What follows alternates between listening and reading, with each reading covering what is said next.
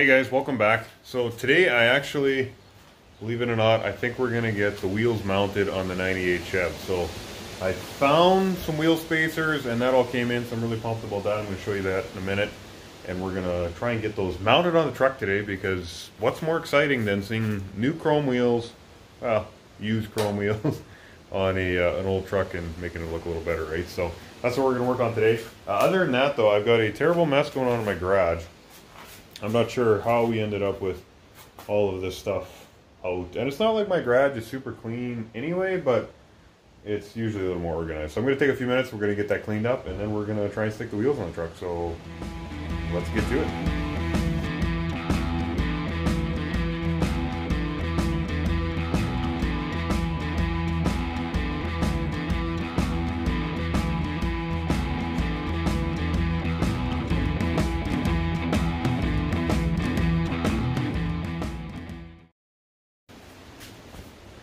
Okay, so it's definitely not perfect. Of course, the wind is blowing leaves back in already, but at least we're kind of at the place where a guy can kind of be on the floor it's not a total mess. So anyway, that's where we're at for the moment. So yeah, I guess the next thing is we'll bring the other truck in here and we'll see if we can get that, uh, get those wheels mounted. So.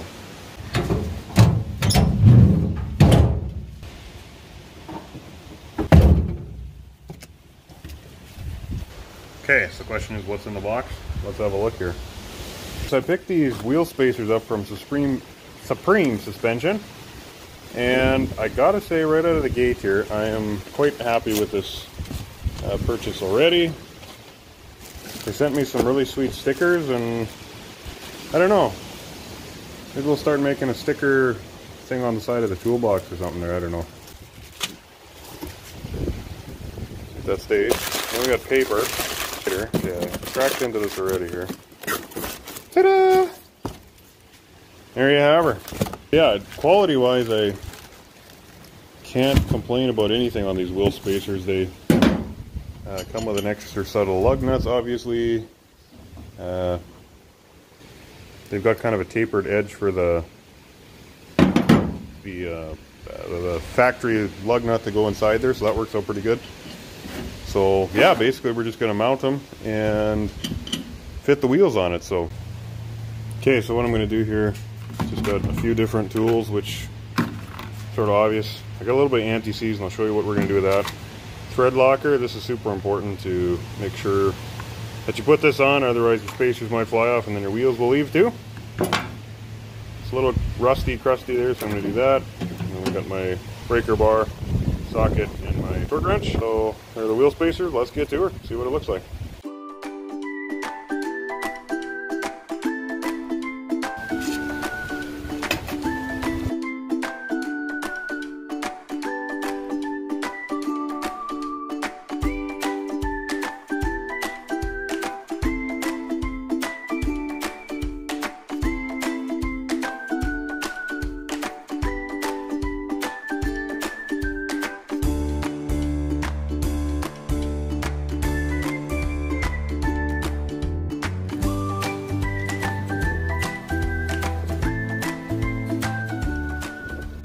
Okay, so there's our brake drum. Just gonna clean that up. Just gonna note, you know, I took my hubcap off the other day, uh, about four or five days ago, and in certain climates, it's amazing how much rust will start to develop within just a few days. You know, not having proper protection over top of your lug nuts. So that's why it's important to keep your hubcaps on. What we're gonna do here is just uh, scratch off with the wire brush and go from there.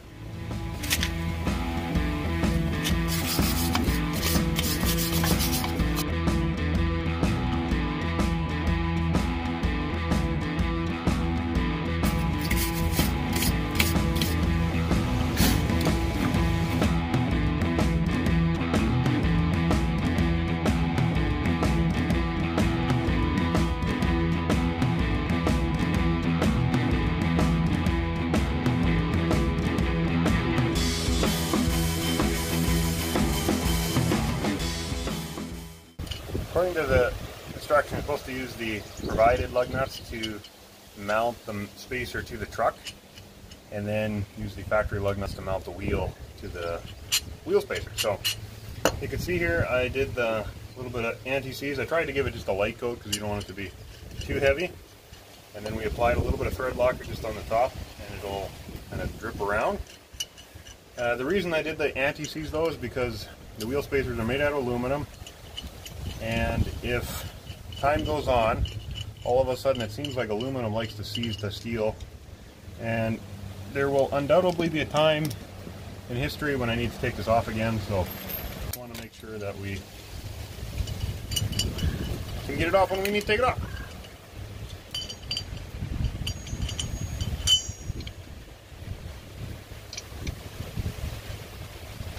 What I found from trying this out is that the factory lugs are not really going to fit on there very. It's a different stud size, so I'm just going to leave the factory studs on the truck. And if we got to change that down the road, we will.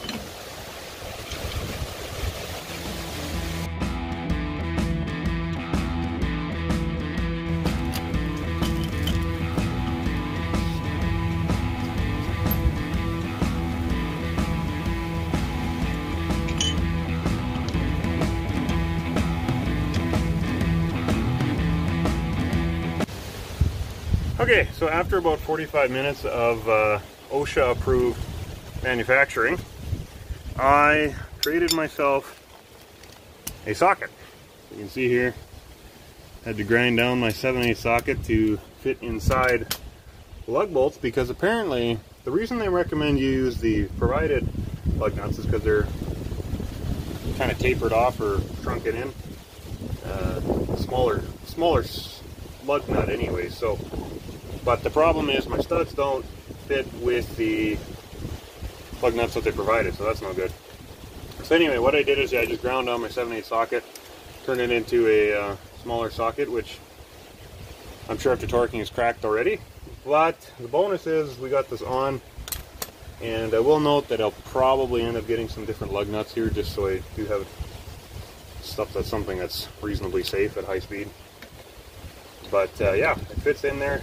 Got them tightened up, got them torqued anyway. So we got this on, and then we're going to do the same on the wheel spacer, and go from there. We'll get, get rolling on the rest of them. So, but anyway, that's what I had to do, just because, yeah, sometimes you got to improvise.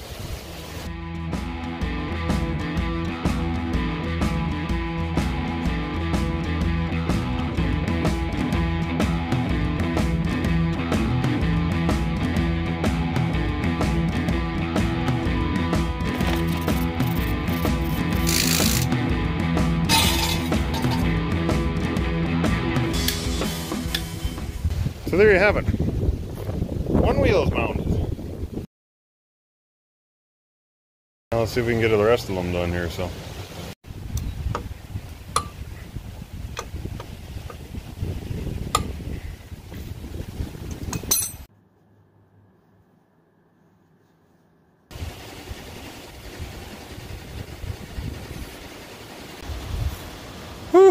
Officially mounted. Last time you saw it in this stance, it was not, so geez, that looks pretty awesome. Now, I don't know if my tires are in any kind of decent shape. I can hear a whistling going, but not 100% sure if that's the tire or the air chuck, but anyway, one more and we got her.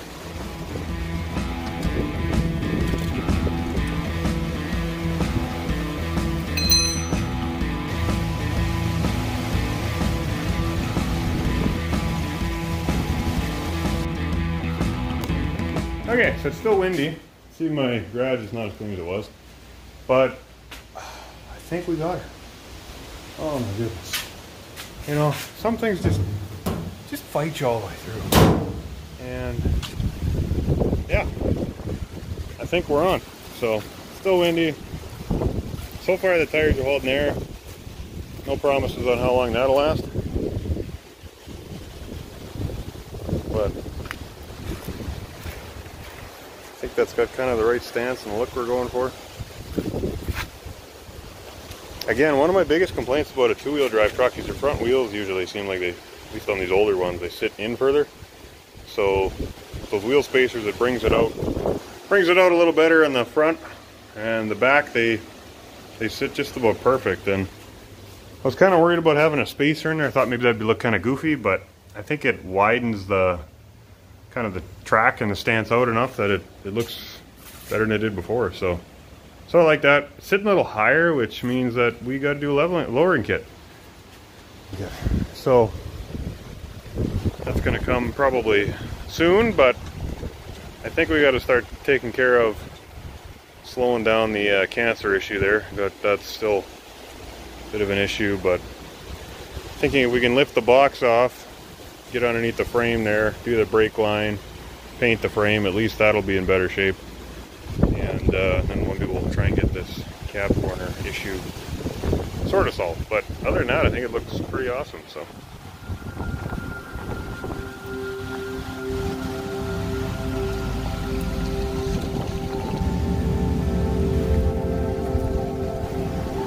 So what do you guys think? You like the wheels? I think they look pretty slick on there. Just gotta get the rest, you know, the rest of the truck looking a little better shape, but but yeah, it looks pretty nice, I think. So yeah, that's the end of the video, guys. I hope that you uh, hit the like button, hit the subscribe, and follow along as we go through the summer, because we're gonna do more work on this truck. But I'd really appreciate to hear what you guys think. What do you would you like to see? What would you do? What have you done on your own truck that you think would uh, work on this one as well? So it's, it's got a little ways to go, just, just being honest. But uh, anyway, appreciate you guys tuning in. Hope you have a great day and a great week, and we'll see you in the next video.